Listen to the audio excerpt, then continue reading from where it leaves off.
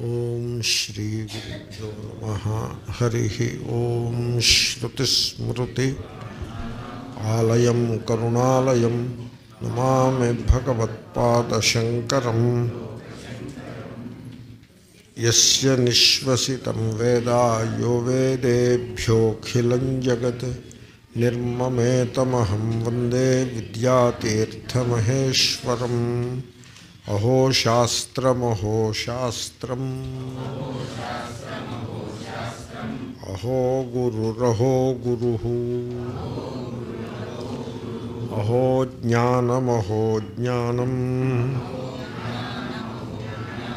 అహో సుఖమహో సుఖం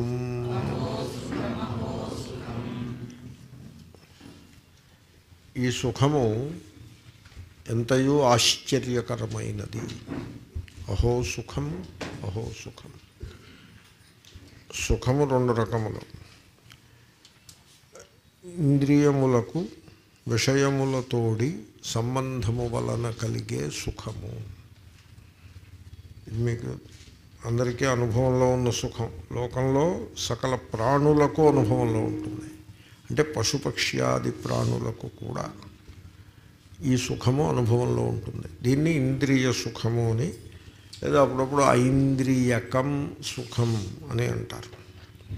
ఈ సుఖంలో ముందు బాహ్యమునందుండే విషయము బాహ్యంలో ఉండే ఆబ్జెక్ట్ విషయము లోపల ఉండే ఇంద్రియము ఇవి ఐదు అవి ఐదు.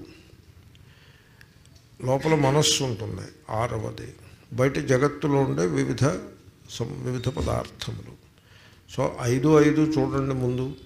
కంటికి రూపముతో సంయోగము. సంయోగము అంటే కలయిక. అప్పుడప్పుడు దీన్ని సన్నికర్ష అని కూడా అంటారు. రండి. రండి. Find a place yeah so Chakshu రూప సన్నికర్ష. చక్షు అంటే కన్ను. కన్నుకి రూపమునకు సన్నికర్ష. అంటే సమావేశము లేక సంయోగము. దాని వలన సుఖం కలుగుతుంది. ఏమండి? అంటే మీకు నచ్చిన రూపాన్ని చూస్తే సుఖం ఈ సినిమాకి వెళ్తారు. ఎందుకు చూస్తారు సినిమాని? రూపముతోటి కన్నుకి సంయోగం వలన సుఖము కలుగుతుంది. తర్వాత శబ్దముతో చెవికి సంయోగము వలన సుఖం కలుగుతుంది. మ్యూజిక్ వినడం ఇత్యాది. మ్యూజిక్ ఒక్కటే కాదు మీకు నచ్చిన వాడి మాటలు వింటే కూడా సుఖం కలుగుతుంది. ఓకే? రెండు. మూడు ముక్కుకి గంధముతో సంయోగము వలన సుఖము కలుగుతుంది. ముక్కుకి. ఈ ముక్కు గంధము ఈ ఈ వ్యామోహం మీకు ప్రపంచంలో ఇస్లామిక్ కల్చర్లో చాలా ఎక్కువ. Then comes the western societies Paris మొదలైన అక్కడి నుంచి ఈ గంధము యొక్క భ్రమ చాలా ఎక్కువ. Then comes Indian society also. గంధము గంధం కావాలి. అయితే వెస్ట్రన్ సొసైటీస్లో వాళ్ళు గంధమును ఆ పరిమళము కావాలి అని వాళ్ళు కోరుకుని దాన్ని సంపాదించుకుని వాళ్ళు ఎంజాయ్ చేస్తారు. మన దగ్గర దేవుడి పేరుతో పరిమళాన్ని నడిపిస్తారు. జనులు అర్థం చేసుకోరు. దానివల్ల ఏమవుతుందంటే నాలాంటి పుట్టుగాడు ద ఫాల్ గై అని అంటారు. వాడు వచ్చి పాయింట్అవుట్ చేయాలి. అంతవరకు అర్థం చేసుకోరు. పాయింట్ పాయింట్అవుట్ చేశారనుకోండి suppose suppose I point out I stand I stand out. Now you tell me shall I point out do you want me to point out okay then you take it environmental agency వాళ్ళు environmental agency కాదు. పశు పశువులకు క్రూరత్వము లేకుండా నిరోధించే శాఖ ఒకటి ఉన్నది ప్రభుత్వంలో. Semi autonomous organisation society for the prevention of cruelty to the animals అని ఒక శాఖ ఉన్నది. ఈ శాఖ వాళ్ళు టీటీడీ మీద కోర్టులో కేసు వేశారు. టీటీడీ మీద తిరుపతి తిరుమల తిరుపతి దేవస్థానం. ఎందుకంటే వాళ్ళు ఏం చేస్తారంటే పునుగు పిల్లులు అనే పిల్లుల్ని పట్టుకొచ్చి అవి వైల్డ్ యానిమల్స్ అవి. అవి పిల్లి కాదు అది. పిల్లి అంటే డొమెస్టికేటెడ్ కైండ్ ఆఫ్ మన సొసైటీలో మను మనుషులతో పాటు బతుకుతూ ఉంటుంది వెరాజ్ ఈ పిల్లి it is not cat it is cat జాతికి చెందినటువంటి వైల్డ్ యానిమల్ అవి అడవిలో ఉంటాయి. వాటిని పట్టుకొస్తారు. పట్టుకొచ్చి కేజెస్లో పెడతారు. ఆ బొమ్మలు చూస్తే ఫోటో ఫోటో కాదు వీడియో చూస్తే చాలా దుఃఖం అనిపిస్తుంది.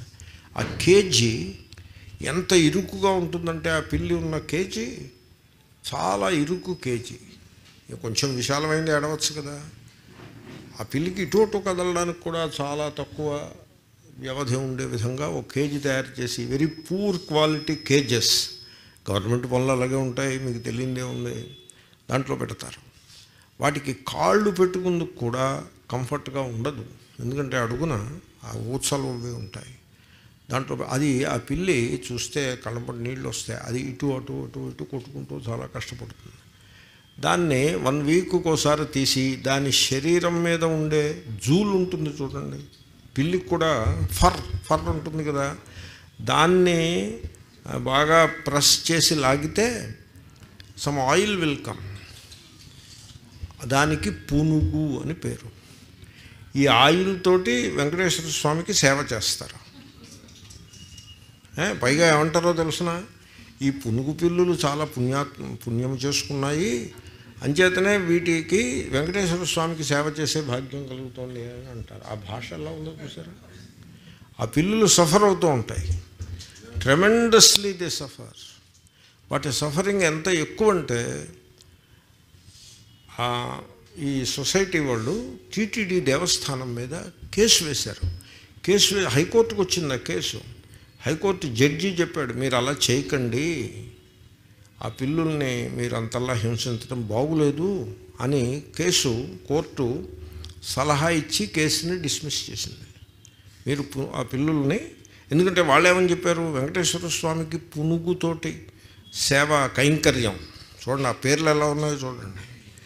పునుగు కైంకర్యము అది ప్రతి మంగళవారం వారానికి ఒకసారి తప్పనిసరిగా చేసి తీరాలి. ఎందుకు చేయాలి అంటే ఆగమ శాస్త్రం అంటారు మళ్ళీ. చేసి తీరాలి. ఆగమ శాస్త్రం ప్రకారం అంటే కోర్టు ఉంటుంది. ఇండియాలో కోర్టులు కూడా కొంత రిలీజియస్ సెంటిమెంట్ మీద పోతాయి కదా. కోర్టు ఏమని చెప్పిందంటే మరి వాటిని హింస పెట్టకుండా కొంచెం దయతో వాటిని ట్రీట్ చేయండి అని సలహా ఇచ్చి కేసుని డిస్మిస్ చేసింది. చూడండి. అంటే గంధము కావాలి వీళ్ళకి. దానిని దేవుడి పేరుతోటే దానికి దేవుడు పేరు పెట్టడం. పునుగు. ఇలాగ. మొత్తానికి డైగ్రెషన్ అయితే అయింది. మొత్తానికి మనిషికి గంధం కావాలి. దేవుడి పేరుతో మీరు ఎంజాయ్ చేసినా ఫైనల్గా మనమే ఎంజాయ్ చేయాల్సి ఉంటుంది. నైవేద్యంలాగా ఇప్పుడు లడ్డు వెంకటేశ్వర స్వామికి లడ్డు ప్రియము అని ఆగమశాస్త్రాల్లో చెప్పారు? ఏదో లడ్డు ప్రియం అని చెప్పి చెప్పారు ఆగమ శాస్త్రంలో అలా కూడా చెప్తారా? ఆ లడ్డూలన్నీ ఎవరు తింటారు? మనమే తింటూ. ఉంటాం కాబట్టి సో గన్ ముక్కు అనే ఇంద్రియమునకు గంధము బాహ్యమునందలి గంధముతో సంయోగము వలన సుఖము కలుగును. చర్మము అనే ఇంద్రియ త్వక్ అనే ఇంద్రియమునకు అంటే చర్మము ద ఫిజికల్ ఎనటామికల్ థింగ్ దాంట్లో త్వక్ అనే ఇంద్రియం ఉంటుంది త్వగింద్రియము. అది స్పర్శను గ్రహిస్తుంది. మృదు మృదు స్పర్శ కోమల స్పర్శ ఇత్యాది సుఖము యొక్క అనుభవము. కాబట్టి ఇది ఐదు విధముల సుఖము ఐదు ఇంద్రియములకు ఐదు విషయములతో కలిగే సుఖము. ఇంకా అంతరింద్రియం ఉన్నది మనస్సు. ఆ అంతరింద్రియానికి సుఖం కలుగుతుంది. అది ఎలా కలుగుతుంది? ఇష్టప్రాప్తి అనిష్ట పరిహారము. మీరు కోరుకున్నది మీకు దొరకాలి. మీకు కోరుకోనిది మీకు దూరం కావాలి. మీకు కొన్నింటిని మనం దగ్గరికి రాకూడదు అని మనం కోరుకుంటాము. అవి దగ్గరికి రాకుండా అట్టి పెడితే దాని వలన మనం సుఖాన్ని అనుభవిస్తాం. కాబట్టి ఇష్టప్రాప్తి అనిష్ట పరిహారముల వలన మనస్సుకు సుఖం కలుగుతుంది. చూసారా? ఆరు ఇంద్రియములు మన ఫైవ్ ప్లస్ వన్. ఈ ఐదు ప్లస్ వన్ ఇంద్రియములకు బాహ్యమునందు ఉండే ఫైవ్ ప్లస్ ఇతర విషయములతోటి మొత్తం ప్రపంచమంతా కూడా మనస్సుకు సంబంధించినది. శబ్దస్పర్శ రూపరస గంధములు ఈ ఐదేంద్రియములకు సంబంధించినవి. ఆ సంయోగము కలిగినప్పుడు కలిగే ఒకానొక మానసిక స్థితికి సుఖము అని పేరు. ఓకే? దానినే ఇంద్రియ సుఖము అని అంటారు. ఎందుకంటే ఇది ఇంద్రియముల నుంచి వచ్చినది. ఐదు జ్ఞానేంద్రియములు మనస్సు వాటి నుంచి వచ్చింది కనుక వాటికి ఇంద్రియ సుఖము అని పేరు. ఇక్కడ చెప్పిన సుఖము ఇంద్రియ సుఖము కాదు ఇది. దీన్ని ఆత్మసుఖము అని అంటారు. ఇంద్రియ సుఖం వేరు ఆత్మసుఖం వేరు. ఓకే? ఇప్పుడు తేడా చూద్దాం. ఇంద్రియ సుఖాలకి ఆత్మసుఖానికి తేడా. ఒకటి ఇంద్రియ సుఖం తేడాలు చెప్తున్నా. వన్ టూ త్రీ ఫోర్ ఒకటి ఇంద్రియములకు విషయములతో సన్నికర్ష వలన కలిగే సుఖము ఇంద్రియ సుఖము. దీనికి భిన్నముగా బాహ్యముతో సంబంధం లేకుండా మన స్వరూపం నుంచి ఆవిర్భవించే సుఖమునకు ఆత్మసుఖము అని పేరు. ఆ తేడా చూసారా రెండు ఇంద్రియ సుఖమును మీరు కోరినప్పుడు మీకు బాహ్యముపై పరాధీనత సైకలాజికల్ డిపెండెన్స్ ఉంటుంది. వెరాజ్ ఆత్మసుఖానుభవమునందు స్వేచ్ఛ స్వాతంత్ర్యము ఉంటుంది. స్వవశమై ఉంటుందిగా మన వశంలో ఉండేది ఇతర అధీనం ఉండదు. అది రెండవ తేడా. మూడు ఇంద్రియ సుఖము కాలముచే పరిచ్ఛిన్నమై ఉంటుంది. ఎందుకంటే రెండు దగ్గరికి రావాలి అంటే ఇంద్రియము విషయము కలుసుకోవాలి అంటే అంతకుముందు కలుసుకొని విడిపోయి ఉన్నాయి ఒక కాలంలో కలుసుకుంటాయి. ఆ కలుసుకున్నవి కొద్దిసేపు ఉండి మళ్ళీ విడిపోతాయి. ఎంతోసేపు ఉండదు. కొద్ది సెకండ్స్ మినిట్ కూడా ఎక్కువే. టూ త్రీ మినిట్స్ కంటే ఎక్కువ ఉండదు సంయోగము కాబట్టి ఇంద్రియ సుఖము రెండు మూడు నిమిషాల భాగ్యం అది. రెండు మూడు నిమిషాల కంటే ఎక్కువ ఉండదు. ఇప్పుడు లడ్డూ తిన్నారనుకోండి లడ్డూ తింటే మీకు సుఖం ఎంతసేపు వస్తుందండి? ఎంతసేపు వస్తుంది? ఒక నిమిషమో రెండు నిమిషాలు వస్తుంది. ఆ తర్వాత అనారోగ్యమే మిగులుతుంది. ముఖ్యంగా కాఫీలో మీరు గమనిస్తే కాఫీ సుఖం ఎంతసేపు ఉంటుందో తెలిసిన? మీరు కాఫీ తాగడానికి హండ్రెడ్ ఎంఎల్ కాఫీ తాగారనుకోండి ఫైవ్ ఎంఎల్ కాఫీ తాగిన దానికే సుఖం ఉంటుంది. మిగతా నైంటీ ఫైవ్ ఎంఎల్ అలవాటు ప్రకారం తాగడం. ఏమండి? కాఫీ తాగడానికి మీకు ఐదు నిమిషాలు పట్టిందనుకోండి ముప్పై సెకండ్లు మాత్రమే మీకు కాఫీ సుఖం ఉంటుంది. మిగతా నాలుగు నిమిషాల ముప్పై సెకండ్లు ఊరికే తాగడమే అంతే. పర్టికులర్లీ మీరు అబ్జర్వ్ చేస్తే కాఫీలో మీరు ఈ తేడాన్ని గమనించవచ్చు. కాబట్టి ఇంద్రియ సుఖము కాలపరిచ్ఛిన్నము. వేరే ఆత్మసుఖము కాలమునకు అతీతమైనది దాని ఎందు కాలము ఉండదు కాబట్టి నిత్యము స్వతసిద్ధము నిత్యము తర్వాత ఇంద్రియ సుఖము మనిషిని సంసారమునందు బంధిస్తుంది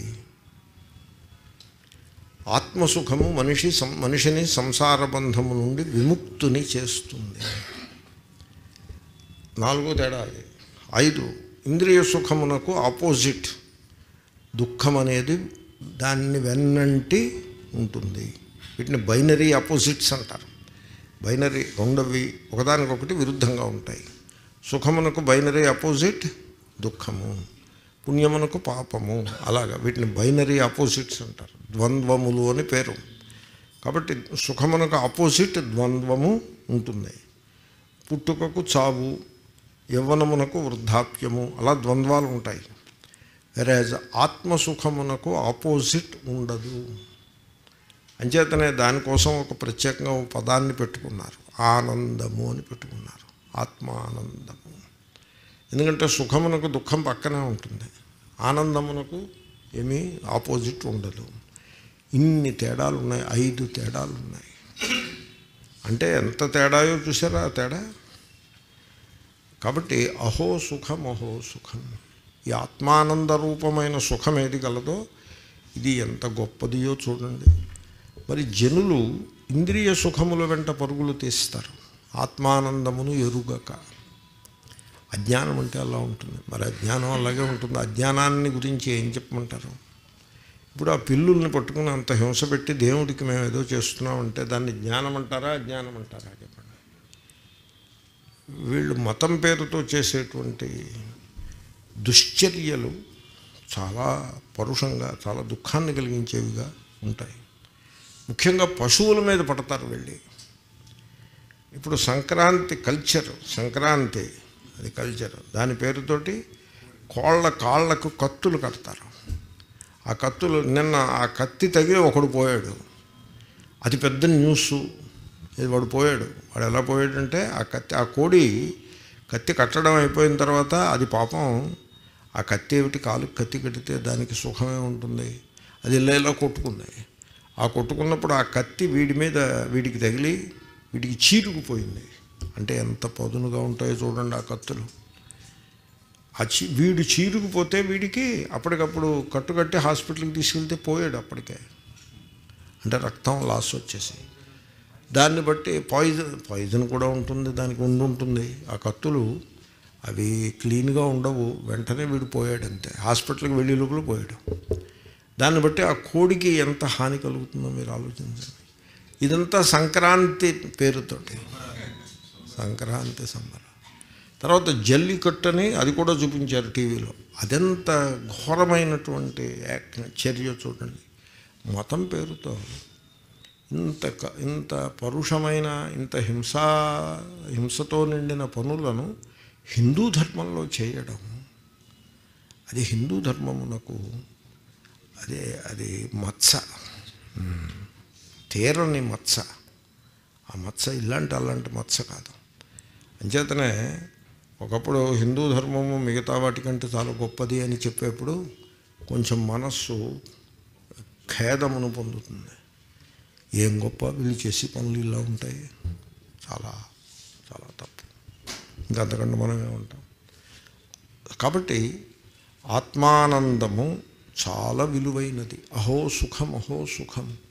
దీనిని తెలియక మానవులు ఇంద్రియ భోగముల వెంట పరుగులు తీస్తూ అర్థకామములు మాత్రమే కాక ఈశ్వరారాధనను కూడా ఇంద్రియ భోగముల కొరకే చేస్తూ ఉంటారు. చూడండి ఆ జ్ఞానం ఎలా ఉంటుందో. బంగారం కోసం దేవుణ్ణి పూజించడం డబ్బు కోసం దేవుణ్ణి పూజించడం ఇతరులపై శత్రు విజయము శత్రువుపై విజయం కోసం దేవుణ్ణి పూజించటం ఎలక్షన్లలో నెగ్గడం కోసం దేవుణ్ణి పూజించటం కోర్టు కేసులు నెగ్గడం కోసం దేవుణ్ణి పూజించటం ఇవన్నీ ఎలా ఉన్నాయో చూడండి ఈ పద్ధతి ఎలా ఉందో. ఇదంతా కూడా అజ్ఞానం. ఈ అజ్ఞానం దేనికోసం? ఈ అజ్ఞానం ఉంటే ఇంద్రియ సుఖములను సంపాదించుట కొరకు. వేరే ఈ శాస్త్రము ఇంద్రియ సుఖములను త్రోసిపుచ్చి ఆత్మానందమును మనకు అందజేస్తూ ఉన్నది. ఆహా. ఎంత గొప్పది శాస్త్రము. అహో సుఖం అహో సుఖం. ఈ ఇంద్రియ సుఖమునకు ఆపోజిట్గా ఉండే ఈ ఆత్మానందమును మనకు అందజేసే జ్ఞానము అది ఎంత గొప్ప జ్ఞానమో. అహో జ్ఞానం అహో జ్ఞానం. ఎలా అయితే సుఖంలో తేడాని మీకు పాయింట్అవుట్ చేశానో జ్ఞానంలో కూడా తేడాని పాయింట్అవుట్ చేయాలి. జ్ఞానము రెండు రకములు. ఒకటి ఏ జ్ఞానమునైతే మీరు పోగు చేస్తారో ఎక్యూములేట్ ఎక్వైర్ అండ్ ఎక్యూములేట్ దాన్ని సంపాదించి దాన్ని భద్రం చేసుకుంటారు పోగు చేస్తూ ఉంటారు. ఇప్పుడు మీరు గమనించరు లేదో. జ్ఞానమును ప్రోగు చేయటం అంటే మీరు ఎక్కాల పుస్తకం చదివిన రోజులు గుర్తుందా? మొట్టమొదటి ఏ ఎక్కని చదివారు? ఒకటో ఎక్కని చదివారు? అవునా? మేము చాలా ఉత్సాహంగా ఒకటో ఎక్కం బాగా వచ్చు. ఎందుకని? ఒక ఒకటి ఒకటి రెండు ఒకట్లు రెండు మూడు ఒకట్లు మూడు తప్పు అనేది రానే రాదు. అది ఒకటో ఎక్కం ఆ తర్వాత రెండో ఎక్కం కొంచెం డిఫికల్ట్ ఒకటో ఎక్కం వచ్చేసింది అప్పుడే. అది ఉంటుంది ఎక్కాల పుస్తకంలో ఉంటుంది. నాకు ఒకటో ఎక్కం వచ్చేసింది. ఆ సరే చాలా సంతోషం. రెండో చదువు. తర్వాత రెండో ఎక్కం చదువుతారు. ఒక రెండు రెండు రెండు రెండు నాలుగు మూడు రెండు ఆరు. ఏదో మొత్తానికి దాన్ని కూడా సా సా- సాగనంపుతారు. మూడో ఎక్కం దగ్గరికి వచ్చేప్పటికి ఇంకొంచెం. అలాగా పంతొమ్మిదో ఎక్కం దగ్గరికి వచ్చేప్పటికి మళ్ళీ ఇరవయో ఎక్కం చాలా తేలిక. పంతొమ్మిదో ఎక్కం మటుకు కానీ నన్ను చిన్నప్పుడు నాకు గుర్తు మా మేస్టార్ అడిగారు సూరన్న మేస్టార్ ఎరా నీకు మొత్తం ఇరవై ఎక్కాలు వచ్చునరా అని అడిగారు. వచ్చునండి అన్న ఏడు పంతొమ్మిదిలో ఎంతో చెప్పన్నారు. నూట ముప్పై మూడు అని చెప్పాను నీకు బాగా వచ్చురా అని నన్ను ప్రశంసించారు. ఈ ఎక్కాలన్నిటినీ పోగు చేసుకోవటం. జ్ఞానాన్ని మీరు పోగు చేస్తున్నారా లేదా? అక్యుములేట్ యూనివర్సిటీ డిగ్రీకి వెళ్తారు. Semester one two three four నాలుగు సెమిస్టర్లు ఎంఏ ఎంఎస్సి నాలుగు సెమిస్టర్లు. అంటే ఫస్ట్ సెమిస్టర్లో చదివేసుకొని అది పరీక్ష పాస్ అయిపోతాం. సెకండ్ సెమిస్టర్ మళ్ళీ థర్డ్ ఫోర్త్ ఆ రకంగా నాలుగు సెమిస్టర్లు అయ్యేప్పటికీ నాలెడ్జ్ ఎక్యూములేట్ ఈ విధంగా నాలెడ్జ్ ఎక్యూములేషన్ అది అవసరమా కాదా చెప్పండి? అవసరం. అవసరం. ఎందుకంటే మనం సంపాదించే జ్ఞానము ఈ రూపంగానే ఉంటుంది. నాలెడ్జ్ ఎక్యూములేషన్ దేనికి అవసరం చెప్పండి? నాలెడ్జ్ ఎక్యూములేషన్ అంటే ఏదైనా ఒక ఉద్యోగం చేసుకునేందుకు బ్రతుకు తెరువు సంపాదించుకోవడానికి అవసరం కదా. తర్వాత సైంటిఫిక్ టెక్నాలజికల్ అడ్వాన్సెస్ అన్నీ కూడా నాలెడ్జ్ అక్యూములేషన్ నుంచే వస్తాయి కదా. ఇప్పుడు మీరు కారు నడుపుతున్నారంటే ఎలా నడపగలుగుతున్నారు? నాలెడ్జ్ అక్యూములేషన్ ఆ స్కిల్ని నేర్చుకుని ఇది క్లచ్చి ఇది బ్రేకు అన్నీ నేర్చుకుని ఆ సమాచారాన్ని పోగు చేసుకుని మీ బుద్ధి ఎందు పెట్టుకుంటారు. మెదడులో పెట్టుకుంటారు. Knowledge accumulation therefore you acquire knowledge you accumulate knowledge ఆ జ్ఞానమును ప్రోగు చేసుకుంటారు. ఆ జ్ఞానం అవసరం. ఆ జ్ఞానం అవసరం.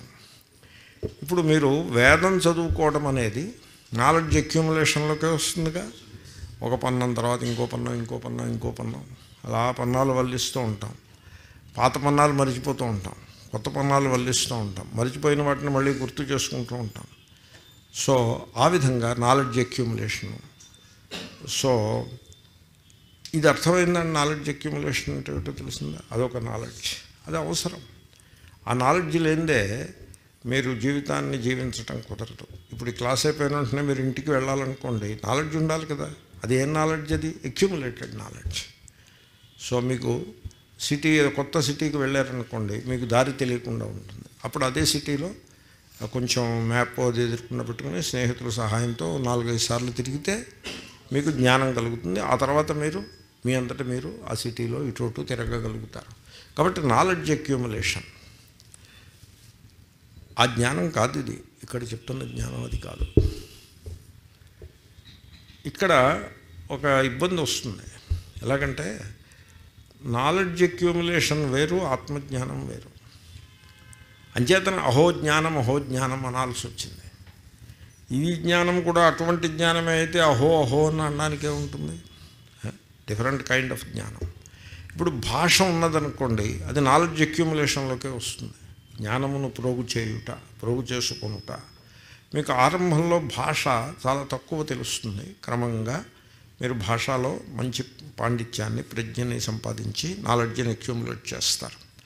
సో ఇటువంటి జ్ఞానము. ఈ జ్ఞానము లౌకిక జ్ఞానం కావచ్చు లేదా మత సంబంధమైన జ్ఞానము. అంటే ఏమిటి? ఇప్పుడు వ్రతములు చేయించే విధానము మీకు బాగా అనుభవాన్ని మరి కంఠస్థం చేసి పెట్టుకుంటారు. పూజలు చేయించే విధానం కంఠస్థం చేసి పెట్టుకుంటారు. ప్రేయర్స్ అన్నీ కంఠస్థం చేసి పెట్టుకుంటారు. అది కూడా అక్యుములేషన్లోకి వస్తుంది.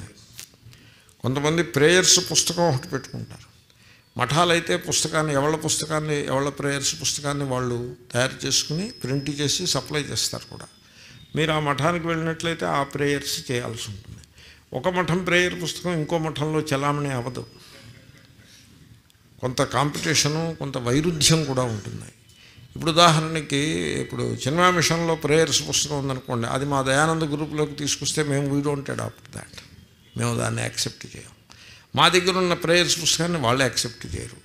ఏవో కొన్ని కామన్ ప్రేయర్స్ ఉంటే ఉండవచ్చు గాక బట్ ఎవరి ప్రేయర్స్ వాళ్ళవి? కైలాసాశ్రమానికి వెళ్ళారనుకోండి శివమహిమ స్తోత్రం పారాయణ చేయాలి. మీకు ఇష్టం ఉన్నా లేకపోయినా సరే శివమహిమ స్తోత్రమే చేయాలి.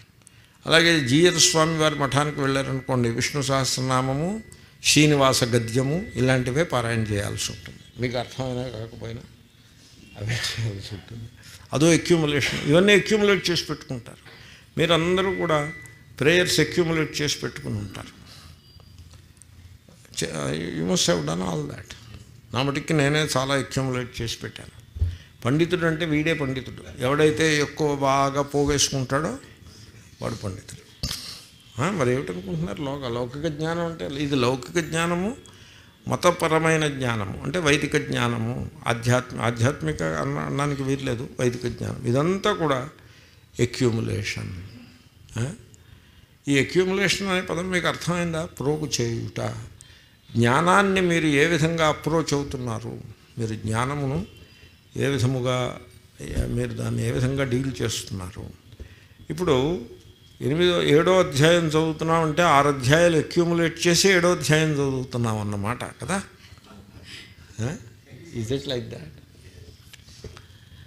so ఏమవుతుందంటే సర్వత్రా జ్ఞానమునకు పద్ధతి ఒకటి ఉన్నది. అదేమిటి? ఎక్వైర్ అండ్ అక్యూములేట్ సంపాదించి ప్రోగు చేసుకోవటం. డబ్బు సంపాదించినట్టే. డబ్బు సంపాదించేప్పుడు ఎలా సంపాదిస్తారు? పది రూపాయలు వంద రూపాయలు వెయ్యి రూపాయలు అలా సంపాదిస్తారు. వాటిని అలా పోగు చేసుకుంటే పదివేలు యాభై వేలు అలా అవుతుంది. డబ్బు సంపాదించి పోగు చేసుకుంటాము. వస్తువులను సంపాదించి పోగు చేసుకుంటాం కదా బంగారం. ముందు చిన్నప్పుడు దుద్దులు బంగారంతో ఆరంభమవుతుంది. ఏదో ఒక ఒక కాసు బంగారం అంతతో ఆరంభమవుతుంది. అది క్రమంగా పెరిగి పెరిగి పెరిగి పెరిగి ఆ బంగారం కూడా పెరిగి అక్యూములేట్ అయ్యి అయ్యి అయ్యి ఒక కేజీయో రెండు కేజీలో బంగారం పోగేసుకుంటారు. అది కూడా అక్యుములేషనే తర్వాత పుణ్యం అక్యుములేషన్ ఉంటుంది. మీరు పుణ్యాన్ని అక్యుములేట్ చేసుకుంటూ ఉంటారు. మీకు ఇష్టం లేకపోయినా పాపం కూడా అక్యుములేట్ అవుతూ ఉంటుంది. ఇష్టం ఉన్నా లేకపోయినా. మీరు ఈ పాయింట్ పట్టుకోవాలి. అన్నీ అక్యుములేట్ చేయడానికి అలవాటు పడి ఉంటాం మనం. మన జీవితం అంతా ఇదే పని. ఏమిటి? ప్రోగు చేయడం. ప్రోగు చేయటం దేనిని? ధనమును భోగములను లోకమునందలి పదార్థములను.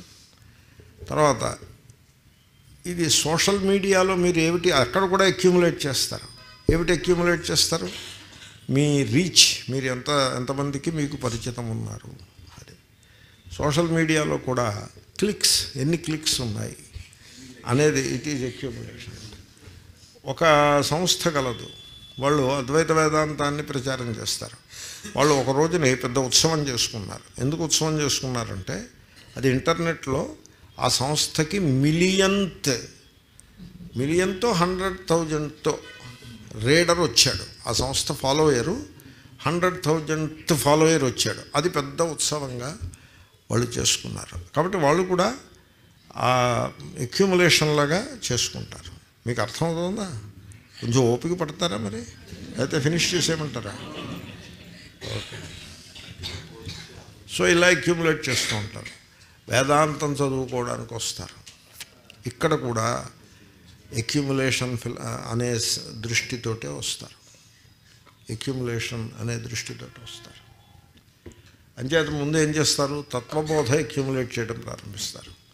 తత్వబోధలో డెఫినేషన్స్ అన్నీ ఉంటాయి. అవన్నీ ఎక్యుములేట్ చేస్తారు. ఆ తర్వాత ఏదో కఠోపన ఉపనిషత్తులను ఎక్యుములేట్ చేయడం ప్రారంభిస్తారు. ఆ తర్వాత గీత చాప్టర్లను ఎక్యుములేట్ చేయడం ప్రారంభిస్తారు. అలా ఎందుకు చేస్తారో తెలుసునండి అలవాటైంది అదే కనుక జీవితం అంతా అలాగే గడిచిందిగా. ఎక్యూములేటివ్ స్పిరిట్ అంటే ప్రోగు చేసే లక్షణం. జీవితం చిన్నప్పటి నుంచి మనకి పెద్దలు నేర్పింది అదే. ఇంట్లో ఇంట్లో తల్లిదండ్రులు నేర్పింది అదే. స్కూల్కి వెళ్తే అక్కడ ఉపాధ్యాయులు నేర్పింది కూడా అదే. సమాజం కూడా దానినే మనకు నేర్పినది.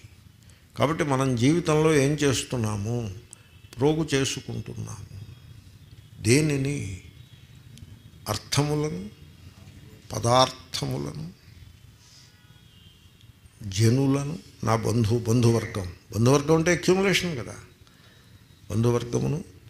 తర్వాత ప్రేయర్స్ మతపరమైన భావనలను ఆరంభంలో మీకు దేవుడి గురించి ఒక్క పిసరు తెలిసి ఉంటుంది. తర్వాత క్రమంగా దేవుడి గురించి చాలా చాలా చాలా సమాచారాన్ని మీరు అక్యూములేట్ చేసుకుంటారు.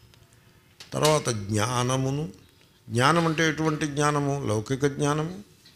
తర్వాత మత సంబంధమైన జ్ఞానము. దీన్నంతనే అక్యూములేట్ చేసుకుంటూ ఉంటారు. ఆ విధంగా ఒక జీవిత కాలాన్ని అక్యుములేట్ చేస్తూ గడుపుతాడు మనిషి. వాడు వేదాంతానికి వస్తాడు. వేదాంతానికి వచ్చి వేదాంతమనగా ఎక్యుములేషన్ అని అనుకుంటాడు. అని అనుకుంటాడు. అంటే వేదాంతం అంటే ఏమిటనమాట ఆత్మజ్ఞానం. ఆత్మజ్ఞానం అంటే ఏమిటనమాట ఎక్యుములేషన్. అదేమిటి?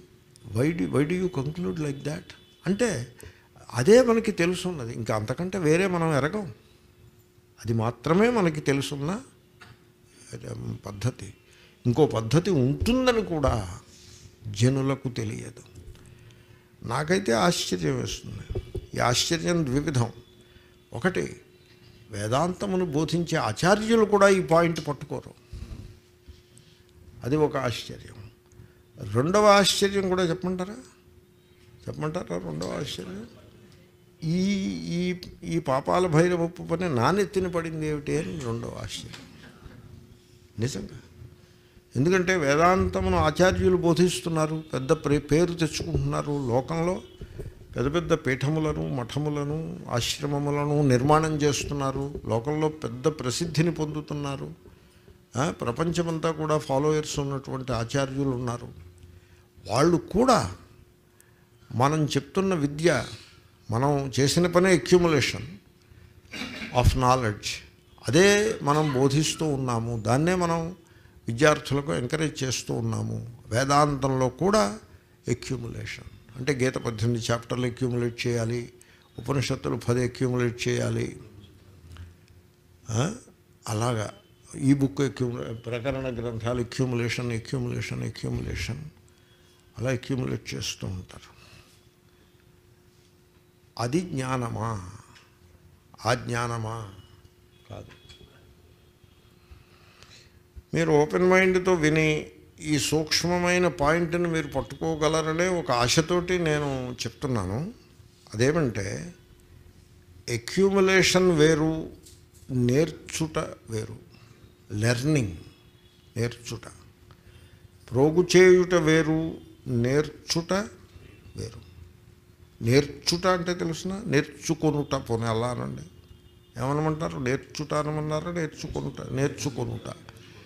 ప్రోగు చేయుట వేరు నేర్చుకొనుట వేరు. ఓకే? మీకు తెలుసా? మూడో ఎక్కం వచ్చు వాడికి. రెండు మూడు ఎంత అని అడిగారు అనుకోండి ఆరు అని చెప్తాడు పిల్లవాడు. కానీ ఎరా ఒకడి దగ్గర మూడు ఆవులు ఉన్నాయి ఇంకొకటి దగ్గర మూడు గొర్రెలు ఉన్నాయి మొత్తం ఎన్ని పశువులు ఉన్నవి అని అడిగారు అనుకోండి వాడికి తెలియదు ఏదన్నా? వీటిని వరడ్ ప్రాబ్లమ్స్ అంటారు. చూసారా టూ ఇంటూ త్రీ ఎంత అంటే సిక్స్ అని చెప్తాడు. కానీ ఒకటికి మూడు ఆవులు ఉన్నాయి ఇంకొకటికి మూడు గొర్రెలు ఉన్నాయి మొత్తం ఎన్ని పశువులు అంటే వాడు టూ ఇంటూ త్రీ సిక్స్ అని వాడికి చెప్పలేకపోతాడు. అంటే అర్థం ఏంటి? ఎక్యూములేట్ చేసేడే తప్ప నేర్చుకోలేదు. నేర్చుకొనడం వేరు ఎక్యూములేట్ చేయటం వేరు. అది మీరు నేర్పుతారు. నేర్పి నాన్న చూడు ఆవులు మూడు ఉన్నాయి కదా గొర్రెలు మూడు ఉన్నాయి కదా వీళ్ళిద్దరు కదా ఎన్ని పశువులు ఉంటే ఇద్దరిని మూడు పెట్టుకునిస్తే టూ ఇంటూ త్రీ కదా? అంటే సిక్స్ అంటాడు. ఇప్పుడు సిక్స్ యానిమల్స్ అని రాయమ్మా అక్కడ. అంటే వాడికి నేర్చుకుంటాడు. అది నేర్చుకుంటాడు. మీకు చిత్రం ఏంటంటే మూడో ఎక్కం అక్యూములేట్ చేస్తాడు. ఇది నేర్చుకుంటాడు. ఏమండి? మూడో ఎక్కం అక్యూములేట్ అయి ఉంటుంది. నేర్చుకున్నది అక్యూములేట్ అవ్వదు. ఏది నేర్చుకుంటారో అది అక్యూములేట్ అవ్వదు. ఏది అక్యూములేట్ చేస్తారో అది నేర్చుకొనడం కాదు. అంచేత అదే ప్రాబ్లము వాడు అక్యూములేట్ చేయడం. ఎక్కడ అక్యూములేట్ చేస్తాడు తప్ప ఇప్పుడు నేను చెప్పిన అది అక్యూములేట్ చేయడు. దాంట్లో అక్యూములేట్ చేయడానికి ఏం లేదు. నేర్చుకోవాల్సింది ఉంది. ఇంకోసారి ఎరా ముగ్గురు మనుషులు ఉన్నారు. ఒకటి దగ్గర మూడు సంచులు ఉన్నాయి ఇంకొకటి దగ్గర మూడు పెన్నులు ఉన్నాయి ఇంకొకటి దగ్గర మూడు పుస్తకాలు ఉన్నాయి. మొత్తం ఎన్నో ఎన్ని వస్తువులు ఉన్నాయని అడిగారు అనుకోండి ఈసారి వాడు త్రీ ఇంటూ త్రీ నైన్ అని చెప్తాడు. ఇది అక్యూములేటెడ్ కాదు ఇది. ఇది నేర్చుకున్నది learning accumulation is different from learning ఈ తేడా మీకు అర్థమైందా? ఇంకొక దృష్టాంతం చెప్తా.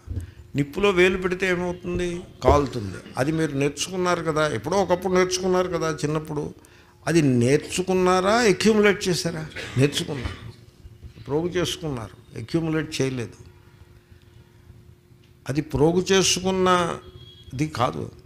అది నేర్చుకున్నది. సరే అనుభవం అనే మాట కూడా పెట్టవచ్చు నేర్చుకోవడం వేరు అక్యూములేట్ చేయడం వేరు. ఏమండి? అనేక దృష్టాంతాలను ఈ విధంగా చెప్పవచ్చును.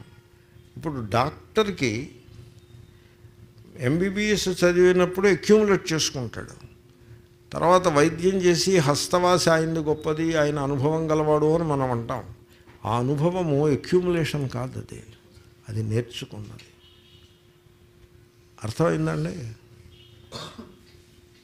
ఒక ఆయన ఉన్నాడు. పద్దెనిమిది అధ్యాయాల గీతని కంఠస్థం చేశాడు.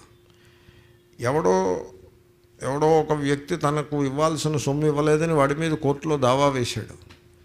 ఇప్పుడు వీడు భగవద్గీతని అక్యూములేట్ చేశాడా నేర్చుకున్నాడా? మీకు అలాంటి వాళ్ళు ఎక్కడైనా కనపడ్డారా? నాకు కనపడ్డారు. నేను అంచేతనే దృష్టాంతంగా చెప్తున్నాను. నాకు కనపడ్డారు. ఒక ఆయన వేదాంత శాస్త్రం అంతా కూడా అధ్యయనం చేశాడు. చిన్న దుఃఖం వస్తే భోరు భోరుమని విలపి కొంత డబ్బు పోయిందని భోరు భోరుమని విలపిస్తున్నాడు. ఇప్పుడు ఆయన వేదాంత శాస్త్రాన్ని ఎక్యూములేట్ చేశాడా నేర్చుకున్నాడా? ఎక్యూములేట్ చేశాడు. ఓకే? ఒక అమ్మగారు ఉన్నారు. ఆమె శాస్త్రం చదువుకోలేదు భాష కూడా తెలియదు ఇల్లిటరేట్ ఆమెకు కష్టం వచ్చింది. కష్టం వస్తే ఆమె ఏమన్నారంటే కష్టాలు మనుషులకే వస్తాయి రాణులకు రావు కదా.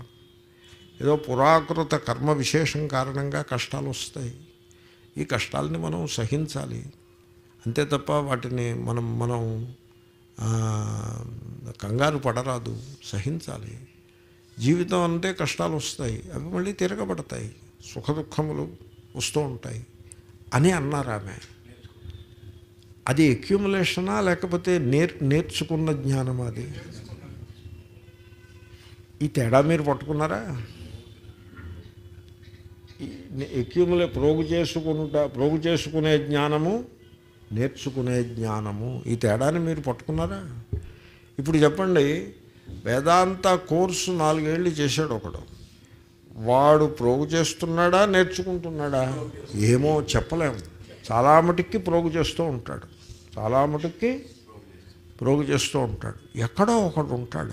నేర్చుకున్నవాడు కూడా ఉంటాడు. మీకు ఎలాగ పసిగట్టడం అంటే చాలా తేలిక పసిగట్టడం. ఎక్యూములేట్ చేసి వాడు అహంకారంతో ఉంటాడు. నేర్చుకున్నవాడు వినయమును కలిగి ఉంటాడు. ఆ తేడాన్ని మీరు పసిగట్టవచ్చు.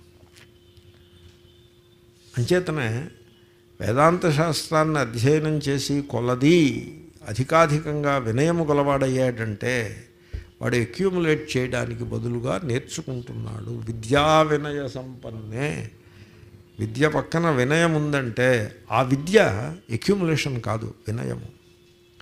విద్య పక్కన వినయం లేదనుకోండి అది ఎక్యూములేషన్ అది అది ఎక్యూములేటెడ్ జ్ఞానమే తప్ప లెర్న్ట్ జ్ఞానము కాదు. నేను ఈ మాటను వేదాంత విద్యార్థులకి చెప్తూ ఉంటాను చెప్తే వాళ్ళు కిందకి పైకి చూస్తారు. ఎక్కడో ఆశ్రమాల్లో అక్కడ చెప్తాను నేను. మామూలుగా మిమ్మల్ని కూర్చోబెట్టి చెప్పడానికి అది వేరే సంగతి. మీకు అందరికీ నేను పరిచయం నాకు మీరు పరిచయం. నన్ను ఆశ్రమంలో పిలిస్తే అక్కడ ఉండే వేదాంత విద్యార్థులను ఉద్దేశించి కోర్సు అయిపోయిన తర్వాత ఈ మాట చెప్తాను. వాళ్ళందరూ బుర్రకు ఒప్పుకుంటారు. ఏమిటి నాలుగేళ్ళ కోర్సు చేసిన తర్వాత వీడు వచ్చి ఈ ఉపన్యాసం చెప్పాడు? ఇప్పుడు దీన్ని ఏం చేయాలని? నేను చెప్పా చెప్తాను అలాగా. వాళ్ళు బుర్రకు అంతేకాదు ఆచార్యులకి డౌట్ వస్తుంది. వీడు మనకి మనకి మనం మనం ఇన్వైట్ చేసి వీడు మనకు ఉపకారం చేస్తున్నాడా లేకపోతే మన కాళ్ళ కింద నిప్పు పెడుతున్నాడా అని ఆచార్యులకి డౌట్ వస్తుంది. డౌ వాళ్ళకి డౌట్ వస్తుంది. ఓసారి నేను చెప్పినప్పుడు ఒక ఆచార్యుడు అన్నాడు ఈయన ఇలాగే మాట్లాడతాడు మనుషుల్ని షేక్ చేయటం ఈయనకు అలవాటు మీరు షేక్ అవ్వద్దని చెప్పాడు ఆయన. he he he knows he he shakes up the people I suggest you don't get shaken up by him he tried to shake me I was shaken by him but later I resisted that ఆహా దారిలో పడ్డావు అన్నమాట నువ్వు అని నేను మనసులో అనుకున్నాను నేను అనుకున్నాను బుద్ధిమంతుడేమో అని ఎప్పుడైతే ఇలా చెప్పాడో ఓహో దారిలో పడిపోయాడు వీడు వీడు ఆ రొటీన్లో పడిపోయాడు ఆ ట్రాక్లో పడిపోయాడని so Vedanta last one good teacher అని నేను అనుకున్నా మీకు ఈ తేడా తెలిసిందండి? ఇదంతా నేను ఎందుకు చెప్పానంటే మీరు పంచదశని వింటున్నారు గీతని వింటున్నారు మీరు అక్యూములేట్ చేస్తున్నారా లెర్నింగ్ నేర్చుకుంటున్నారా? ఇంకొక ఇంకో ఇంకా ఒకటి రెండు తేడాలని మీరు చెప్పచ్చు. మీరు అక్యూములేట్ చేసినప్పుడు కంపారిజన్ ఉంటుంది.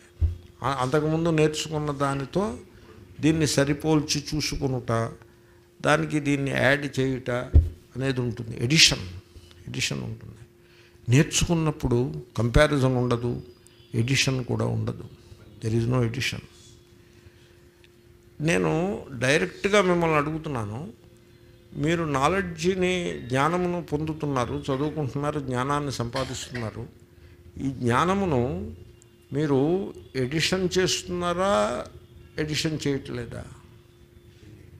ఎడిషన్ చేస్తున్నట్లయితే అది అక్యూములేషను అది మిమ్మల్ని ఉద్ధరించదు. మీకు you will become more refined individual దాంట్లో సందేహం లేదు.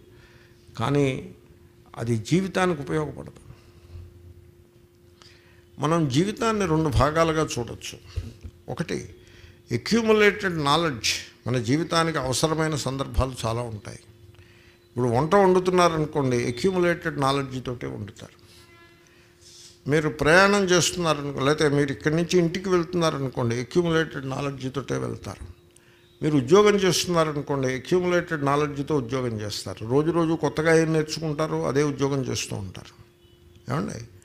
మీరు యూనివర్సిటీలో ఎంఏ చదువుతున్నారనుకోండి అక్యూములేషన్ ఆఫ్ నాలెడ్జ్ అనే ప్రక్రియనే పాటిస్తారు. అవునండి. మీరు జీవితం నుంచి గుణపాఠం నేర్చుకున్నారనుకోండి అదేమిటది? అది అక్యూములేషన్ కాదు. అది అక్యూములేషన్ కాదు. అది యాడ్ అవ్వదు. మీకున్న నాలెడ్జ్కి అది యాడ్ అవ్వదు. అది ఇట్ స్టాండ్స్ అపార్ట్ అలాగుంది. అది యాడ్ అవ్వదు. అక్యూములేట్ అవ్వదు అది. జీవితం నుంచి నేర్చుకున్న గుణపాఠము యాడ్ అవ్వదు. నిప్పులో వేలు పెడితే కాలుతుంది అనేది అనే పాఠము అనే జ్ఞానము మీకున్న physics mathematics or whatever knowledge దానికి ఇది యాడ్ అవ్వదు. మీరు గమనించారా? అది యాడ్ అవ్వదు. అది దానికి యాడ్ అవ్వదు ఇంక దేనికి యాడ్ అవ్వదు? అది అలా ఉంటుందంతే ఆ జ్ఞానమే మిమ్మల్ని కాపాడుతుంది. ఎందుకంటే మీకు చేతులు కాలకుండగా సపోజ్ మీకు ఆ జ్ఞానం లేదనుకోండి మీరు రోజు ఒళ్ళు కాల్ చేసుకుని హాస్పిటల్లో పడిపోతూ ఉంటారు. కాబట్టి ఏ జ్ఞానము దెర్ ఈజ్ అ నాలెడ్జ్ మనం ఒక భ్రమలో జీవిస్తూ ఉంటాం. ఏమని? అక్యూములేటెడ్ నాలెడ్జ్ ఈజ్ ఎవ్రీథింగ్ అనే భ్రమలో జీవిస్తూ ఉంటాం. నెంబర్ వన్ అంచేతనే ఏమవుతుందో తెలిసిన మనిషి అక్యూములేటెడ్ నాలెడ్జ్తో చంద్రమండలం మీద కాలు పెడతాడు. అది అక్యూములేటెడ్ నాలెడ్జ్తో పెడతాడు. కానీ భార్యతోటి ఎలా వ్యవహారం చేయాలో తెలియకుండా బతుకుతాడు ఎందుకంటే భార్యతో వ్యవహరించే నాలెడ్జ్ అది అక్యూములేటెడ్ నాలెడ్జ్ యూనివర్సిటీ ఫస్ట్ మార్కుల వల్ల వచ్చి నాలెడ్జ్ కాదు అది. అది ఆ జ్ఞానం వేరేది అది. లెర్నింగ్ నుంచి వచ్చే జ్ఞానం అది. పైగా యూనివర్సిటీ ఫస్ట్ మార్క్ వచ్చినవాడు ఆ జ్ఞానంలో ఫెయిల్ అయిపోతాడు కదా వాడు. రియల్లీ అంచేతనే యూనివర్సిటీ ఫస్ట్ మార్కులు వచ్చినవాడు ఉన్నాడే వాడు జీవితంలో పైకి రాడు వాడు. వాడు ఫెయిల్ అయిపోతాడు. ఎందుకంటే వాడు అక్యూములేషన్ ఎరుగుడే తప్ప జీవితాన్ని ఎరుగడు. మీరు తేడాన్ని నేను అనేక దృష్టాంతాలతో చెప్తున్నా పట్టుకుంటున్నారా మీరు? కాబట్టి జనులు ఎక్యూ నాలెడ్జ్ అంటే ఎక్యూములేషన్ అనే తేడాన్ని తెలుసుకోకుండా లెర్నింగ్ వర్సెస్ ఎక్యూములేషన్ తేడాన్ని తెలుసుకోకుండా ఉంటారు. ఆ కారణంగా వాళ్ళు జీవితంలోనే ఒక ప్రధానమైన అంశంలో చాలా ఉన్నతిని సాధించగలుగుతారు. కానీ జీవితంలో జీవితం అంటే కేవలం పాండిత్యాన్ని సంపాదించడం కాదు జీవితం అనేది ఒకటి ఉంటుంది. ఆ జీవితంలో వాళ్ళు ఫెయిల్ అయిపోతారు. మీరు ఎప్పుడైనా విన్నారా? చదువుకున్న వాడికంటే చాకలివాడు మేలు అని?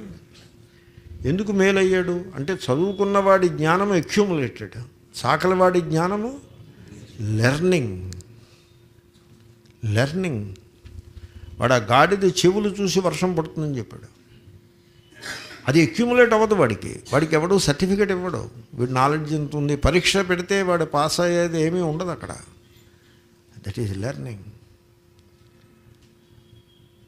అంచేత ఇప్పుడు పాయింట్ ఏమిటంటే వేదాంతమును ఏ కేటగిరీలో మీరు పెడతారు?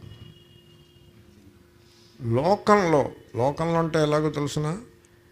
ఈ ప్రాచీన సంప్రదాయబద్ధంగా వేదాంత శాస్త్రాన్ని అధ్యయనం చేసే పండితులు పఠా మఠాధిపతులు పీఠాధిపతులు ధర్మాధిపతులు మత పెద్దలు వీళ్ళందరూ కూడా వేదాంత శాస్త్రమును ఎక్యుములేషన్ కేటగిరీలో పెట్టుకుంటారు. తర్వాత పెద్ద పెద్ద కోర్సులను నిర్వహించేటువంటి సంస్థలు వేదాంత శాస్త్రాన్ని ఎక్యుములేషన్ కేటగిరీలో పెట్టుకుంటాయి. వేదాంతాన్ని బోధించే ఆచార్యులలో చాలా భాగం ఎక్యుములేషన్ కేటగిరీలో ఉంటారు. వాళ్ళే అలా బోధిస్తున్నప్పుడు విద్యార్థుల నుంచి మీరు ఏమి ఎక్స్పెక్ట్ చేస్తారు? వాళ్ళు అలాగే ఉంటారు విద్యార్థులు కూడా.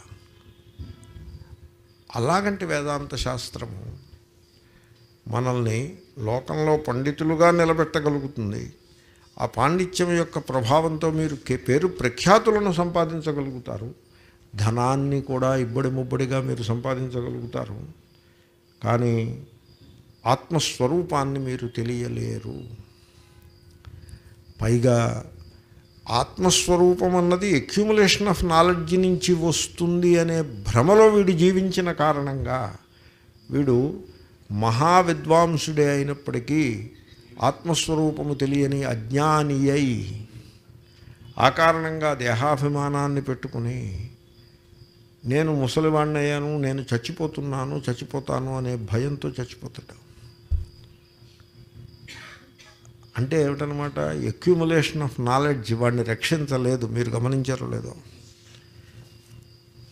అంచేతనే శంకరులు అన్నారు సంప్రాప్తే సన్నిహితే కాలే నహి నహి రక్షతి డుక్రీకరణే అన్నారు. దీనికి అర్థము మీరు వ్యాకరణం చదువుకోవద్దని కాదు.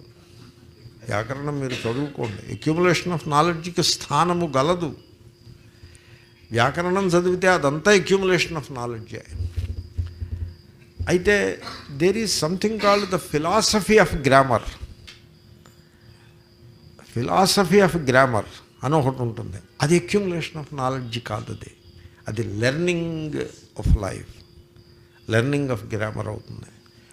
Good you get the point the philosophy of grammar ఇప్పుడు షేక్స్పియర్ నాటకం చదివారనుకోండి దానికి సంబంధించిన పాండిత్యం అంతా మీ దగ్గర ఉందనుకోండి దట్ బికమ్స్ అక్యుములేషన్ కానీ ఆ నాటకంలో ఉన్నటువంటి కీలకమైన జీవన సూత్రములను మీరు పట్టుకున్నారనుకోండి దట్ బికమ్స్ లెర్నింగ్ ఈ తేడాన్ని తెలియుట మానవ జీవితానికి ఒక పెద్ద మలుపు. కాబట్టి మీరు ఎక్యుములేషన్ ఉంటుంది. ఎక్యుములేషన్ అని నేను కాదనలేదు మీరు గమనించారో లేదో. Mathematics physics chemistry biology physiology grammar తర్కం వేదాంతం ఇవన్నీ కూడా ఎక్యుములేషన్ కేటగిరీలోకే వస్తాయి. కానీ జీవితములో సంసార బంధము నుండి విముక్తిని కలిగించే జ్ఞానము మటుకు ఎక్యుములేషన్ కాదు. ఇట్ ఈజ్ లెర్నింగ్ అంటే మీ స్వరూపాన్ని మీరు ఎక్యుములేషన్ ద్వారా తెలియలేరు. ఆ క్షణమునందు మీరు దాన్ని పసిగట్టాల్సి ఉంటుంది. అంచేతనే ఎక్యుములేషన్ జ్ఞానము కాలబద్ధమై ఉంటుంది. ఇట్ టేక్స్ టైం ఓ సెమిస్టర్ టైం పడుతుంది. వేదాంత కోర్స్ అయితే నాలుగేళ్ళ టైం పడుతుంది. దానికి టైం పడుతుంది ఎక్యుములేషన్కి వేరే లెర్నింగ్ అన్న చూసారా? It is timeless it doesn't take time it is timeless తత్వమసి అనేది అది లెర్నింగా ఎక్యుములేషనా ఆయన తొమ్మిది సార్లు అన్నాడని మీరు లెక్క వేస్తే అది ఎక్యుములేషన్ అవుతుంది. అయితే తత్వమసి అన్నది లెర్నింగ్ అంటే ఎలా ఉంటుందో తెలిసిన? మీరు దేనిని పొందాలని అనుకుంటున్నారో అది ఆల్రెడీ మీరే అయి ఉన్నారు. మీరు స్వర్గాన్ని పొందాలనుకుంటున్నారా? ఆ స్వర్గం మీరే. మీరు విష్ణువుని పొందాలనుకుంటున్నారా? వైష్ణవులు అలాగే ఉంటారు. కైంకర్యం ద్వారా విష్ణువుని పొందాలి అని ఏదో అనుకుంటారు. ఆ విష్ణువు నువ్వే. శివుడిని పొందాలనుకుని ఇంకొకటి ఉంటాడు. ఆ శివుడు నువ్వే. అమ్మవారిని పొందాలని ఇంకొకటి ఉంటాడు. ఆ అమ్మవారు నువ్వే. అంటే చీర కట్టుకోమని అభిప్రాయం కాదండో అదే లింగ వివక్ష లేని మాట నేను చెప్పాను. హెవెన్ అంటాడు ఇంకోటి ఆ హెవెన్ నీలోనే ఉన్నది. నిజానికి ఆ హెవెన్ నీవే. That is the meaning of tattvamasi నాకు జీవితంలో శాంతి కావాలండి. విశ్రాంతి లేకుండా అయిపోయింది జీవితం. అంతా అలుదు ఉడుదుడుకులు అల్లకల్లోలము. జీవితంలో నాకు శాంతి కావాలి అని చాలామంది అంటారు. నేను అలిసిపోయాను జీవితంలో. నాకు శాంతి కావాలి అంటాడు. ఆ శాంతి నీవే. నాకు మోక్షము కావాలి. ఆ మోక్షము నీవే. తత్వమసి. తత్వమసి ఈజ్ నాట్ అక్యూములేటెడ్ నాలెడ్జ్ తత్వమసి is something which you learn now and here accumulated knowledge అలాగ కాల ప్రవాహంలో ఉంటుంది. Whereas knowledge that you learn it is instant instant అంచేతనే అక్యుములేషన్ పాస్ట్ ఉంటుంది ప్రజెంట్ ఉంటుంది ఫ్యూచర్ ఉంటుంది. నాలెడ్జ్కి ప్యాస్ట్ ఉండదు ఫ్యూచర్ ఉండదు. ఇన్ దట్ సెన్స్ ప్రజెంట్ కూడా ఉండదు. టైమ్లెస్ ఇట్ ఈస్ అహో జ్ఞానం అహో జ్ఞానం ఆ జ్ఞానమునకు ఇక్కడ గొప్ప. ఆ జ్ఞానం ఎంత గొప్పదియో అని. అంటే సపోజ్ మీరు తెలుసుకున్నారనుకోండి ఏమని?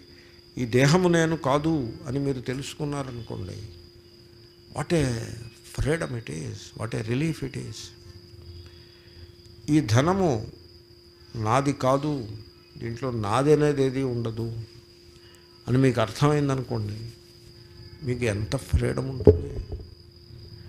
మీరు చెప్పండి ఈ పిల్లలు వీళ్ళు నా సంతానము అని నేను అనుకోవడం పొరపాటు వాళ్ళు నా సంతానం కాదు అని మీరు తెలుసుకోగలిగారు అనుకో it's not easy it's not easy suppose మీరు తెలుసుకోగలిగారు అనుకోండి అప్పుడు మీకు ఏమిటి కలుగుతుంది? Tremendous freedom you will get అది పుస్తకాలు వల్లిస్తే రాదు అది. అది జీవితమును పరిశీలించి పుస్తకాలు ఉంటాయి. పుస్తకములు అంటే ఏమిటండి? ఇప్పుడు పంచదశ అంటే ఏమిటి? ఒక ఒక మహాత్ముడు జీవితమును అవలోడన చేసి పరిశీలించి తెలుసుకున్న సత్యాలను అక్కడ పెట్టాడు. దానికి పంచదశ అని పేరు. అది అనుభవం నుంచి వచ్చింది. ఆ మహాత్ముడి దగ్గర నుంచి అనుభవ రూపంగా వచ్చింది. మనం దాన్ని అక్యూములేషన్లో పెట్టాం. విశ్వామిత్ర మహర్షి గాయత్రి మంత్రాన్ని దర్శించాడు. దాన్ని మనం వెయ్యిసార్లు రిపీట్ చేస్తున్నాం. మనది అక్యుములేషన్ ఆయనది లెర్నింగ్ ఇన్స్టెంట్ ఇట్ ఈస్ మనం వెయ్యిసార్లు రిపీట్ చేస్తున్నాం. వెయ్యి సార్లు రిపీట్ చేసి కూడా మనం అలాగే దద్దమల్లాగానే మిగిలిపోతున్నాం. కాబట్టి అక్యుములేషన్కి విలువ ఉంటుంది. అక్యుములేషన్ నేను తిరస్కరించానని మీరు అనుకోవద్దు. ఇప్పుడు గ్రామర్ ఉంది. Grammar is accumulation technology is accumulation మీరు ఇంకొకటి అడిగితే చెప్పండి. ఎంఎస్సి వరకు నాలెడ్జ్ ఎలా ఉంటుంది? పిహెచ్డిలో నాలెడ్జ్ ఎలా ఉంటుంది? ఎంఎస్సి వరకు అక్యుములేషన్ పిహెచ్డిలో లెర్నింగ్ కాబట్టి ఈ తేడాన్ని మీరు గమనించి వేదాంతము వేదాంత జ్ఞానము ఇట్ డజంట్ యాడ్ అది యాడ్ అయ్యేది కాదు అది. ఎక్యుములేషన్ కాదు అది. అది instant you learn it now and here అంచేతనే అటువంటి జ్ఞానము చాలా గంభీరంగా పెద్ద పెద్ద శ్లోకాలు పెద్ద పెద్ద సాహిత్యంతో ఉండదు. చాలా సరళంగా ఉంటుంది. ఇప్పుడు భజగోవింద శ్లోకం ఉందనుకోండి శంకరుల భజగోవింద శ్లోకాలు అవి అక్యూములేటెడ్ నాలెడ్జా లెర్నింగ్ నాలెడ్జా అది లెర్నింగ్ నాలెడ్జ్ అంచేతనే పెద్ద విస్తారంగా ఏమి ఉండదు పట్టుమని పన్నెండు శ్లోకాలు ఉంటాయి. ఆ శ్లోకాలు కూడా మానవ జీవితమును తరచి చూచి పరిశీలించి అవలోడనం చేసి పిండిన సారమును కలిగి ఉంటాయి. దాంట్లో మీరు భయగోవింద శ్లోకాలు కంఠస్థం చేసి పెట్టుకోవడం వల్ల మీకు ఒరిగేది ఏమీ ఉండదు. ప్రతిదాన్ని పారాయణ చేస్తూ ఉండటం వల్ల ఉపకారం ఏమీ ఉండదు. ఇది పారాయణ చేసి అక్యూములేషన్ అయితే పారాయణ చేయాలి. ఇది అక్యూములేషన్ కాదు ఇది. ఇది లెర్నింగ్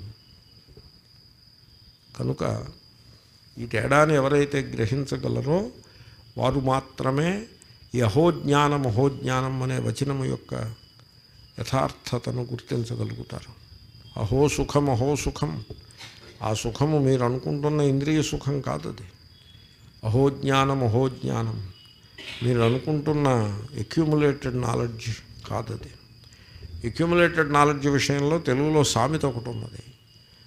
తాడి తన్నిన వాణిని తలదన్నువాడు అని. అది ఎక్యుములేటెడ్ నాలెడ్జ్ విషయంలో వస్తుంది అది వెరాజ్ లెర్నింగ్ అన్న చోట అది కంపారిజనే ఉండదు. You don't compare with somebody else అది ఎక్యుములేషన్లోనే కంపారిజన్ ఉంటుంది. డబ్బు పోగేసి వాడికే కంపారిజన్ ఉంటుంది తప్ప డబ్బు యొక్క రహస్యం తెలుసున్న వాడికి ఎవరితోటి కంపారిజన్ ఉండదు. మంచిది మిమ్మల్ని విసిగించానో ఏమో చాలా ఎక్కువ చెప్పాను ఎక్యుములేషన్ గురించి. అహో జ్ఞానం అహో జ్ఞానం. అహో గురురహో గురు.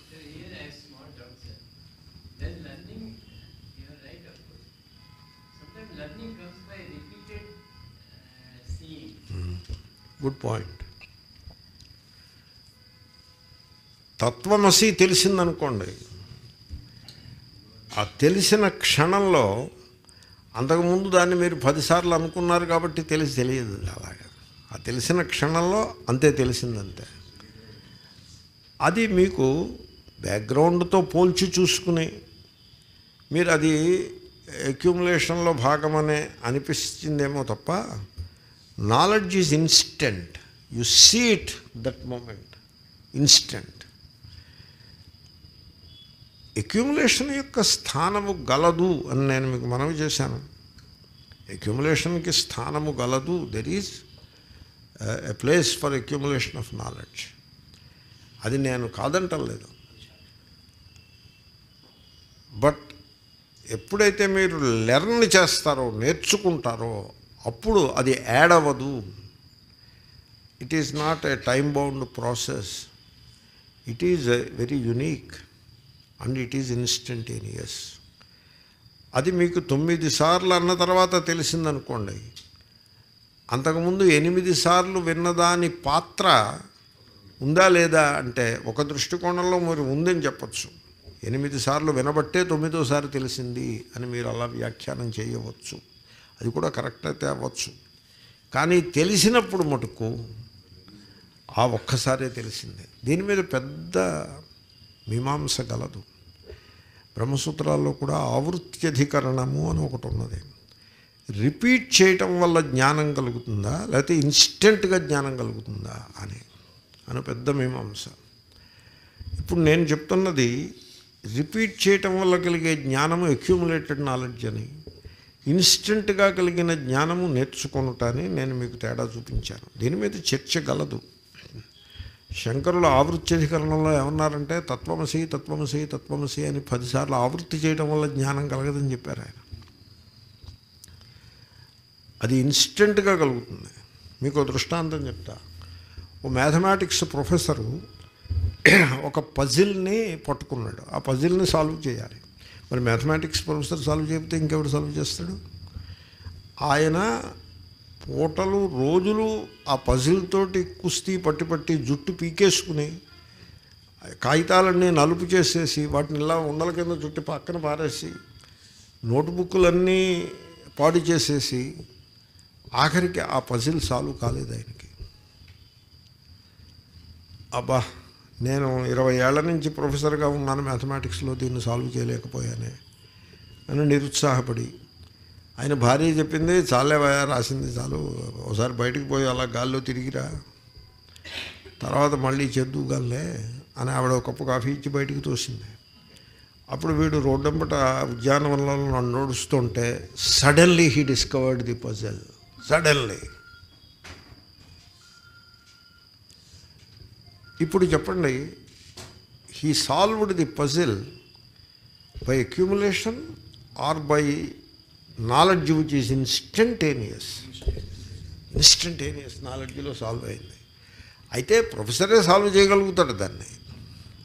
అంటే అక్యుములేటెడ్ నాలెడ్జ్ యొక్క స్థానం ఉంది నేను లేదంటలేదు రీసెర్చ్ అలాగే ఉంటుంది. రీసెర్చ్లో అక్యుములేటెడ్ నాలెడ్జ్ ఉంటుంది. But the discovery happens instantly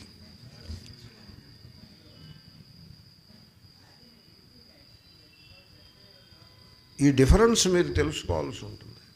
You should know this difference అహోజ్ఞానం అహోజ్ఞానం. మనిషిని అంచేతనే నేను దృష్టాంతాలు చాలా చెప్పాను. అక్యూములేటెడ్ నాలెడ్జ్ మీకు అవసరం ఉంటే చంద్రమండలం మీద అడుగు పెట్టాలంటే అక్యూములేటెడ్ నాలెడ్జ్ ఉండబట్టే మీరు వెళ్ళగలుగుతారు.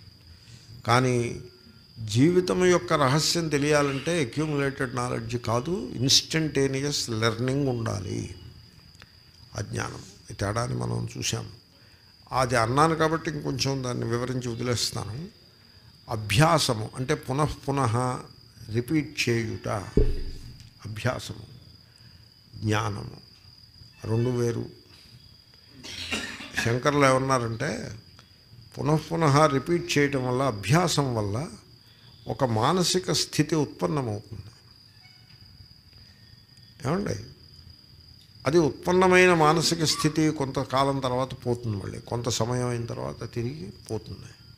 వేరే జ్ఞానము అది రిపిటేషన్ వల్ల వచ్చేది కాదు అది టైమ్లెస్ ఇట్ ఈస్ దాంట్లో టైం యొక్క పాత్ర ఉండదు. అది ఎప్పటికీ మిమ్మల్ని విడిచిపెట్టదు. అది మీ జీవితాన్ని కడదేరుస్తుంది. అని అభ్యాసము వేరు జ్ఞానము వేరు.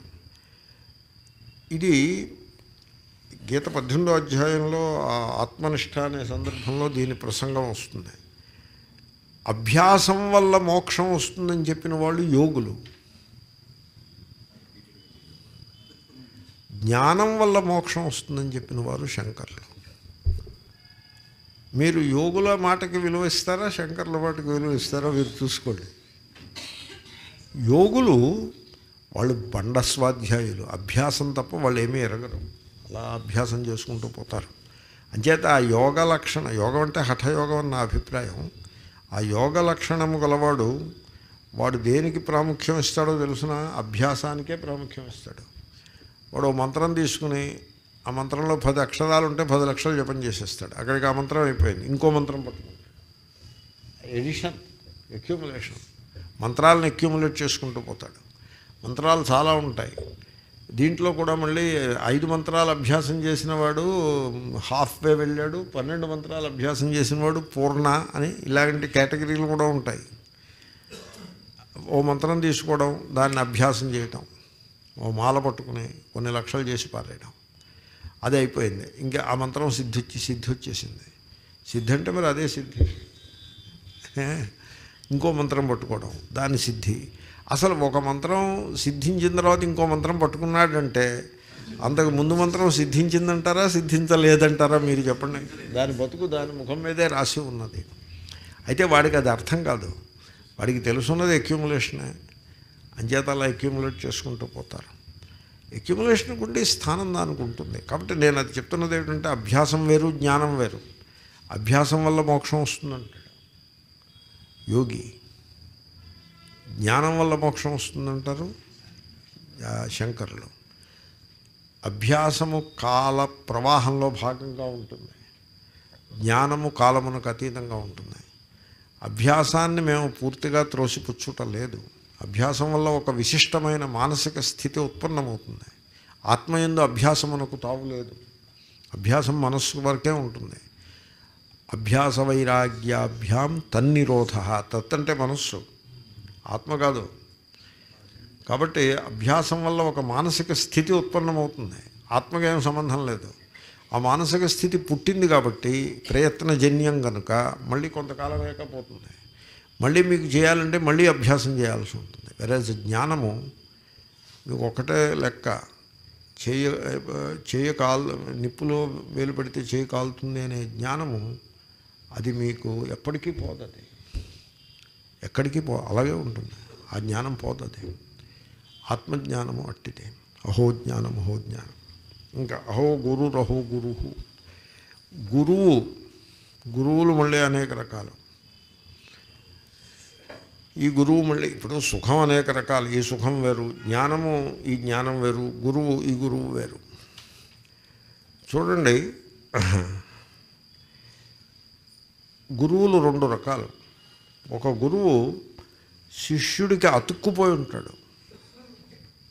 శిష్యుడికి ఎప్పుడూ ఫ్రీడమ్ ఉండదు. ఆ గురువుని అలాగా మోస్తూ ఉండాల్సిందే. ఫిజికల్గా కాదు సైకలాజికల్గా. అంటే ఏమిటి? ఇప్పుడు మీరు ఒక సత్యాన్ని తెలుసుకున్నారనుకోండి ఎక్యుములేట్ చేశారనుకోండి ఎక్యుములేషన్ చేసినప్పుడు ఇంకొకడెవడో మీకు దాన్ని మీ బుర్రలో పెడతాడు దాన్ని. అక్యూములేషను ఇంకొకడు మీ బుర్రలో పెడతారు. దీన్ని అనూచాన పద్ధతి అంటారు. అనూచానం అంటే గురువు అంటాడు మీరు అంటారు. గురువు ఒకసారి అంటాడు మీరు రెండుసార్లు అంటారు. ఆయన ఒకసారి అంటాడు ఎందుకని? ఆయన వచ్చి ఆల్రెడీ అక్యూములేట్ చేసి పెట్టుకున్నాడు కనుక ఒకసారి అంటే సరిపడుతుంది. మీరు అక్యూములేట్ చేయటం ఇంకా తర్వాయి కనుక మీరు రెండుసార్లు అంటారు. ఆయన అలాగా అనిపించి అనిపించి అనిపించి మీ బుద్ధిలో పెడతాడు అదే. ఆయన గురువు. ఇప్పుడు మీరు ఆ గురువుని అక్కడ నేర్చుకునేది ఏమి ఉండదు. నేర్చుకునేది ఏముండదు అక్యుములేషనే ఉంటుంది. దానికి ఉండే స్థానం దానికి ఉన్నదని మనవి చేశాం కదా. ఆ గురువు గురువే శిష్యుడు శిష్యుడే. ఇలాగే ఉంటుంది. శిష్యుడు ఎన్నటికీ గురువు కాడు. గురువు గురువే శిష్యుడు శిష్యుడే. ఆ స్థానములు ఆ పొజిషన్స్ అలాగే మిగిలి ఉంటాయి. ఈ శిష్యుడు ఇంకొకడికి గురువు అవుతాడేమో తప్ప ఆ గురువు విషయంలో వీడు శిష్యుడే. గురువు గురువే శిష్యుడు శిష్యుడే. దోస్ పొజిషన్స్ ఆర్ ఫిక్స్డ్ ఈ ఈ రకమైన భేదము ఇది ఆత్మస్వరూపం విషయంలో పనికిరాదని చెప్పారు. అసలు ప్రశ్న వేశారు. నమ అని ఉంటుంది. నమః గురవే నమః అని ఉంటుంది. గురవే నమః అంటే ఇప్పుడు ఆత్మ యొక్క ఐక్యాన్ని అంగీకరిస్తారా అంగీకరించారా? అంగీకరించే పక్షంలో గురువు ఆత్మ వేరు కాదు. వీడి ఆత్మయో గురువు ఆత్మ. కాబట్టి గురవే నమః అనే వాక్యం పొసగదు ఎందుకంటే భేదం వచ్చింది కదా దాంట్లో. నమః అంటే నమస్కారము క్రియ గురువు కొరకు సంప్రదానం. కాబట్టి భేదం వచ్చేసింది. నమస్కారం చేసేవాడు కర్త గురువు సంప్రదానం అవుతాడు కర్త సంప్రదానం అవ్వడు సంప్రదానము కర్త అవ్వదు భేదం. కాబట్టి వేదాంతులు చేసే నమస్కారము భేదగర్భ నమస్కారం కాదు అభేద గర్భ నమస్కారం. అభేద గర్భ నమస్కారం. అయితే మరి గురవే నమ అంటే తస్మై శ్రీ గురుమూర్తయే నమైదం శ్రీ దక్షిణామూర్తయే అన్న చోట ఆ నమస్కారము అభేద గర్భ నమస్కారం. అంటే దాన్ని వాచ్యార్థం తీసుకోకూడదు లక్ష్యార్థం తీసుకోవాలి. వాచ్యార్థాన్ని విడిచిపెట్టాల్సి ఉంటుంది. ఎందుకంటే వాచ్యార్థం తీసుకుంటే గురువు వేరు శిష్యుడు వేరు నమస్కారం అనేది క్రియ. కాబట్టి భేదమే ఉంటుంది. కానీ భేదం ఉంటే ఇంకా దక్షిణామూర్తి స్తోత్రం ఏమిటి? అభేద గర్భ నమస్కారం అది. అక్కడ గురవే అనే శబ్దంలో సంప్రదానత్వాన్ని తీసేయాలి. నేను నమస్కరిస్తున్నాను అన్న చోట నమస్కార కర్తృత్వాన్ని తీసేయాలి. శుద్ధ చైతన్యం మిగిలి ఉంటుంది. ఉపాధులను పరిత్యాగం చేసేస్తే శుద్ధ చైతన్యం మిగిలి ఉంటుంది. దానికి ఐక్యం ఉంటుంది. కాబట్టి నమస్కార క్రియకి ఐక్య భావన అని అర్థం. అక్కడ క్రియ కాదది. గురువు యొక్క ఆత్మయే తన ఆత్మ తన ఆత్మయే గురువు యొక్క ఆత్మ అనే ఆత్మస్వరూపం తెలుసుకుని దాని ఎందు నిలిచి ఉండుటయే అక్కడ నమస్కార శబ్దానికి అర్థం. దాని ఎందుండే క్రియాత్వాన్ని కూడా వాచ్యార్థమును తీసేయాల్సి ఉంటుంది. జహదహజహల్ లక్షణ. అంటే వాచ్యార్థాలను తీసేసి లక్ష్యార్థాలను అట్టిపెట్టుకుంటారు. ఆ విధంగా అభేద గర్భ నమస్కారాన్ని ఇక్కడ వేదాంతంలో చెప్తారు. కాబట్టి ఇక్కడ గురువు అన్నది వా- వాస్తవంగా గురువు కాదు. గురువు గురువు కాదు శిష్యుడు శిష్యుడు కాదు. నా గురు నా శిష్య. అటువంటి గురువు ఇది. గురువు గురువే శిష్యుడు శిష్యుడే అలాంటి గురువు కాదు. ఇప్పుడు మీకు ద్వైత సంప్రదాయాలు ఎలా ఉంటాయో తెలుసునండి. ఇప్పుడు మీరు ఒక ఆచార్యుడు ఉంటారు. మీరు విష్ణువుకి కైంకర్యం చేస్తూ ఉంటారు. విష్ణువు దృష్టాంతమే తీసుకోండి. విష్ణువుకి కైంకర్యం చేస్తూ ఉంటారు. కైంకర్యం అంటే ఏమనమంటారు? ఏదో వంట వండి కైంకర్యం చేయటం. సో ఏదో ఏదో మొత్తానికి కైంకర్యం అనే మాట ప్రతిదీ కైంకర్యమే. విష్ణువు కైంకర్యం చేస్తూ ఉంటారు. చేస్తూ ఉంటే విష్ణువు మిమ్మల్ని అనుగ్రహించి వైకుంఠంలో మీకు చోటిస్తాడు. దాని పేరే మోక్షం.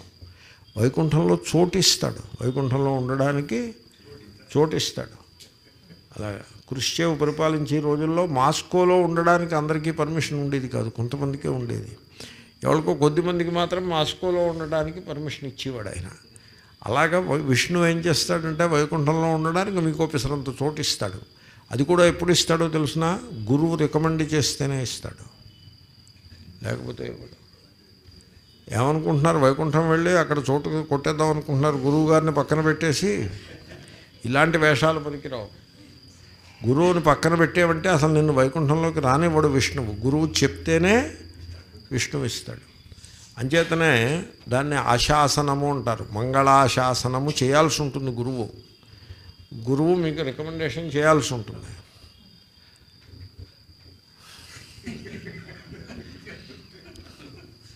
మీకు ఏమైనా విని ఓపిక ఉందా ఇవన్నీను?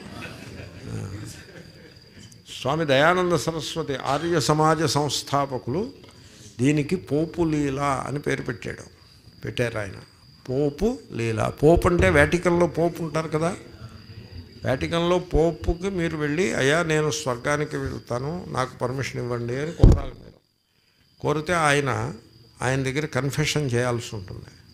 అంటే మీరు చేసిన పాపములను ఆయన క్షమిస్తాడు. తర్వాత స్వర్గంలో మీకు సింగిల్ అపార్ట్మెంట్ సింగిల్ రూమ్ కావాలా డబుల్ రూమ్ కావాలా అని అడుగుతాడు ఆయన. సింగిల్ రూమ్ కావాలంటే ఇరవై ఐదు వేల డాలర్లు మీరు పే చేయాల్సి ఉంటుంది. డబుల్ రూమ్ కావాలంటే యాభై వేల డాలర్లు పే చేయాలి.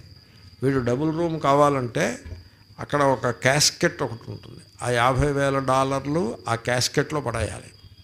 పడేస్తే పోపు గారు సెక పోపు గారు పోపు గారు ఆయన సెక్రటరీ ఓ రిసీట్ ఇస్తారు. ఆ రిసీట్ ఎవరికి అడ్రస్ చేస్తారంటే from pope so and so date అది ఉంటుంది. To Saint Peter the letter is address to saint Peter saint Peter headquarters heaven of God I hereby certify that so and so mister Johnson has earned the right to live in a two bedroom apartment in the heaven and therefore this request may be properly sanctioned అని sign చేసి ఇస్తాడు ఆ receipt ఇస్తాడు వీడు చచ్చిపోయినప్పుడు ఆ receipt ఆ పెట్టిలో పెట్టి కప్పెడతారు.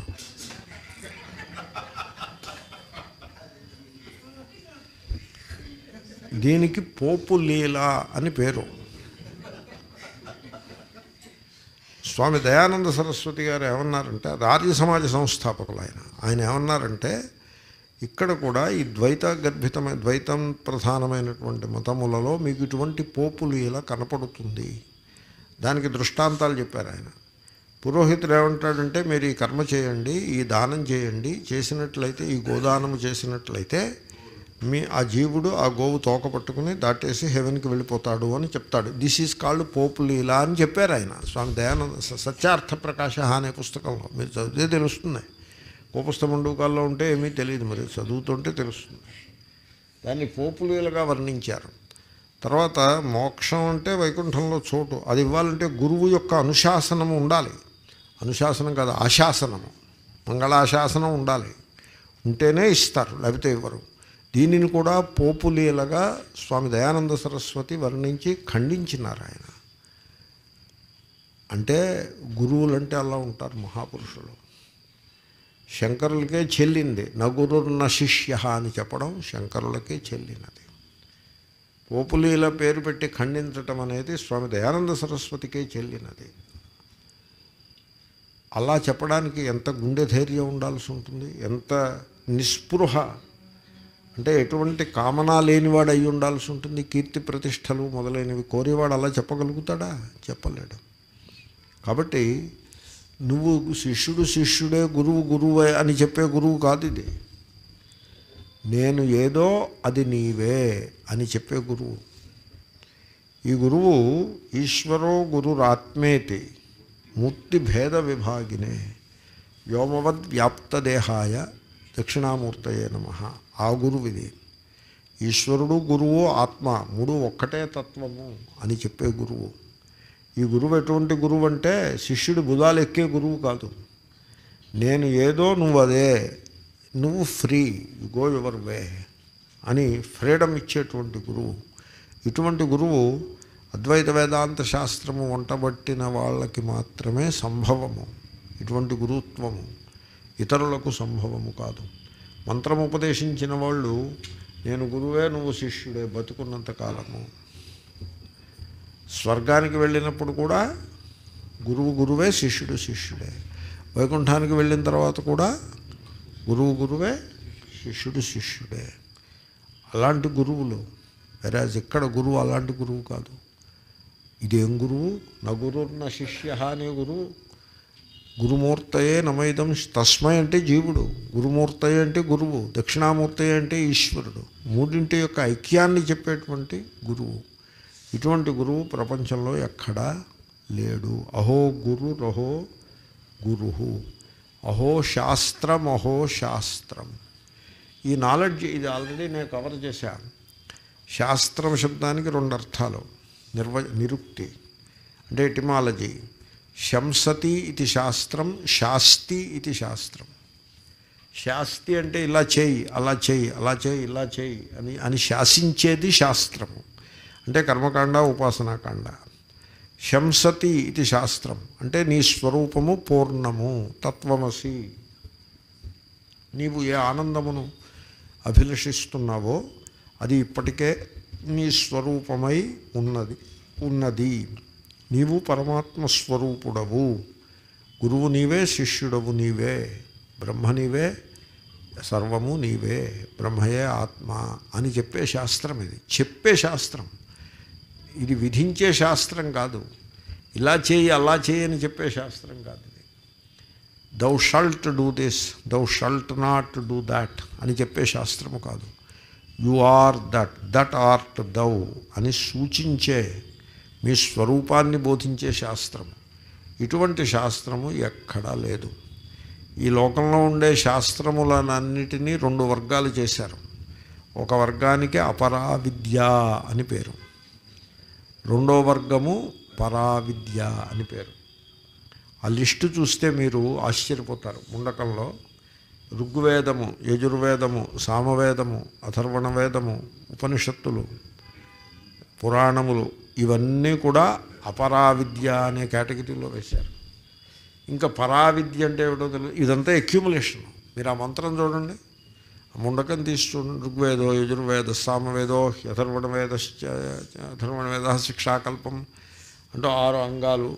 చతుర్దశ విద్యాస్థానములు పెద్ద లిస్టు ఉంటుంది. That is called accumulation that is అపరా విద్య అథ పరా తర్వాత వస్తోంది పరావిద్య. యయా తదక్షరం అధిగమ్యతే ఏ విద్య చేతనైతే ఆ పరమాత్మ వినాశము లేని పరమాత్మ. అంటే నాకు మృత్యువు లేదు నేను అమృత స్వరూపుడను అని వీడు తెలుసుకుంటాడు. అధిగమ్యతే. అక్కడ జ్ఞా జానాతి అని వేయలేదు. జానాతి అంటే మళ్ళీ అక్యూములేటెడ్ నాలెడ్జీలో పడిపోతుంది. అధిగమ్యతే అని వేశారు.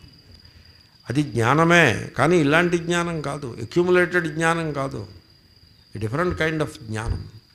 అంచేత అధిగమ్యతే అని వేశారు. శంకర్లు కూడా బ్రహ్మావగతి అన్నారు. బ్రహ్మజ్ఞానం అని కాకుండా బ్రహ్మావగతి అన్నారు. అవగతి అంటే జ్ఞానమే. కానీ మామూలు అక్యుములేటెడ్ జ్ఞానం కాదు అది అది అనుభవ రూపమైన జ్ఞానము. అవగతి అంటే అనుభవాత్మకమైన జ్ఞానము. అది అక్యుములేట్ అవుతుంది. అది యాడ్ అవ్వదు. ఇట్ వాంట్ యాడ్ మీరు క్లాస్ అంతా విన్న తర్వాత మీకు ఎడిషనే ఉండదు. క్లారిటీ ఉంటుంది. ఎడిషనే ఉండదు. క్లారిటీ ఉంటుంది. ఇప్పుడు మురికి నీళ్ళకి మురికి నీళ్ళు తీసుకొచ్చి యాడ్ చేశారనుకోండి ఎడిషన్ ఉంటుంది. మురికి నీళ్ళని ఫిల్టర్ చేశారనుకోండి ఎడిషనే ఉండదు. క్లారిటీ ఉంటుంది. అలాగా. కాబట్టి ఈ శాస్త్రము క్లారిటీ ఇచ్చే శాస్త్రం తప్ప ఎడిషన్ అయ్యే శాస్త్రం కాదు ఇది. ఇది మీ స్వరూపాన్ని బోధించే శాస్త్రమే తప్ప ఇలా చేయి అలా చేయని శాసించే శాస్త్రం కాదు ఇది. అబ్బో ఇది ఎక్కడ శాస్త్రము? ఇలాంటి శాస్త్రము సృష్టిలో లేనే లేదు. పదచ్ఛేదం. అహో శాస్త్రం. అహో శాస్త్రం. అహో గురు అహో గురు అహో జ్ఞానం. అహో జ్ఞానం. అహో సుఖం. అహో సుఖం. ఆహా. అహో శాస్త్రం. ఆహా ఏమి శాస్త్రము ఆహా ఏమి గురువు? ఆహా ఏమి జ్ఞానము? ఆహా ఏమి ఆనందము? దీన్ని ఆహా మూమెంట్ అంటారు. ఆహా మూమెంట్ అనే మాట విన్నారా ఎప్పుడైనా? అది ఎక్యూములేషన్ కాదు. ఆహా మూమెంట్ ఎక్యూములేషన్ కాదు. Aha moment is discovery discovery accumulation వేరు డిస్కవరీ వేరు దిస్ ఈస్ దట్ అహో శాస్త్రం అహో శాస్త్రం అహో గురురహో గురు అహో జ్ఞానమహో జ్ఞానం అహో సుఖమహో సుఖం తృప్తిదీపమిమం ये नु सन्दधते बुधा। ब्रह्मानंदे निमज्जन्तः। ते तृप्यन्ते निरन्तरम्। इति श्रीमद्विद्यारण्यविरचितायां पञ्चदश्यां तृप्तिदीपाख्यं सप्तमं प्रकरणं खादित् ఖాదిత్యదీపితే కుడ్యే దర్పణాదిత్యదీప్తివత్ కూటస్థభాసితో దేహ ధేస్థజీవేన భాస్యతే చూడండి ఎలా ఉందో ఆ శ్లోకం. ఈ రెండు శ్లోకాలు అంటే తృప్తి దీప ప్రకరణం పూర్తి చేయుట ప- కూటస్థ దీప ప్రకరణాన్ని ఆరంభించుట. ఈ కార్యక్రమం సోమవారం నాడు మనం చేద్దాం. ఈరోజుకి ఇక్కడ ఆపుదాం. ఓం పూర్ణమద పూర్ణమిదం పూర్ణాత్ పూర్ణముద్యతే పూర్ణస్య. ఓం శాంతి శాంతి శాంతి. వీకెండ్ వచ్చేసినప్పుడే శని ఆది గీతా క్లాసులు ఉన్నాయి. సోమవారం నాడు ఇక్కడ ఈ క్లాస్ ఉంటుంది. మంగళవారం నాడు భగవద్గీత బొలారం క్లాస్ కూడా ఉంటుంది. ఓం.